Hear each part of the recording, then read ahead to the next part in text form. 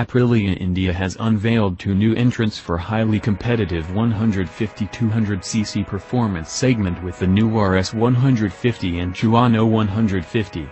Yes, these are the younger cousins of the Italian two-wheeler manufacturer's highly acclaimed RS V4 and the Tuono V4. Both the bikes are all new models and are expected to be launched in India by 2019.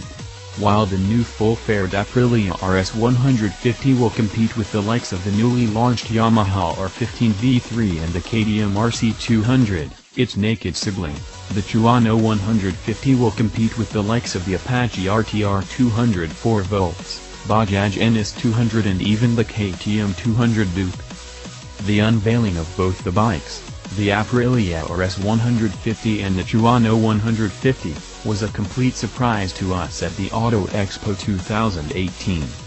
While the brand already has the SR150 and a newly launched SR125 in the Indian market, these are the first low-displacement motorcycles from Aprilia India and something that we were waiting for a long time.